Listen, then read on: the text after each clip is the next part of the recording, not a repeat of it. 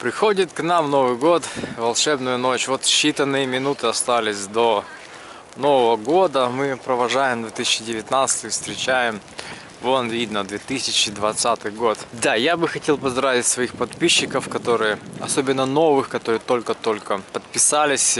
Хотел бы также выразить, э, сказать спасибо всем тем, кто ставит лайки, до сих пор смотрит канал, интересуется нумизматикой. Не так много новостей, ну, допустим, в Москве кинотеатр Улан, Улан Батор а, сейчас демонтировали, ну, разрушили его. Теперь нумизматы будут собираться в другом месте.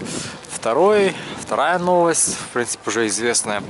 А, на московской ярмарке увлечений расселили всех продавцов а, монет. Ну, 90% точно переехали, осталось там буквально несколько.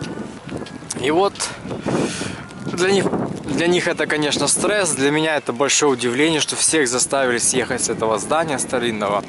Теперь все, ну не все, но некоторые базируются а, в центр досуга хобби он называется. Но это по сути проехать одну остановку метро от Преображенской до Черкизовской.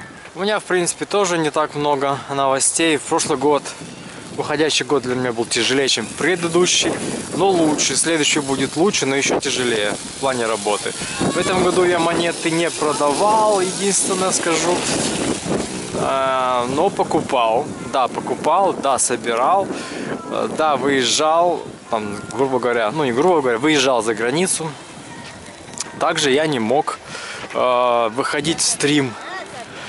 А, ну это я вам просто новости рассказываю свои. В стрим я не мог выходить.